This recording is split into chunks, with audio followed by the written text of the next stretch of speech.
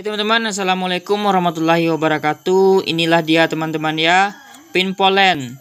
Nah ini kapsul dari serbuk sari bunga pinus teman-teman ya. Ada 10 khasiat dan manfaatnya yang sangat luar biasa untuk yang pertama itu untuk imun tubuh teman-teman ya. Jadi bagi yang mungkin sering capek, kelelahan karena banyaknya aktivitas, ini sangat bagus sekali teman-teman konsumsi ya.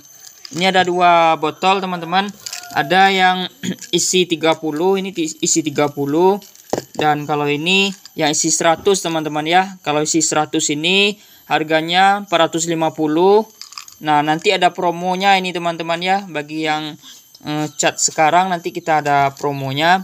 Kalau yang ini harganya 250 nah ini isi 30 teman-teman. Ini sangat luar biasa sekali untuk membantu mempercepat sembuh dan juga untuk menjaga daya tahan tubuh yang mungkin yang bagi yang lagi ini teman-teman ya yang tidak sakit ya. Nah itu bisa. Oke teman-teman ya inilah dia pin pollen dari Ginzaku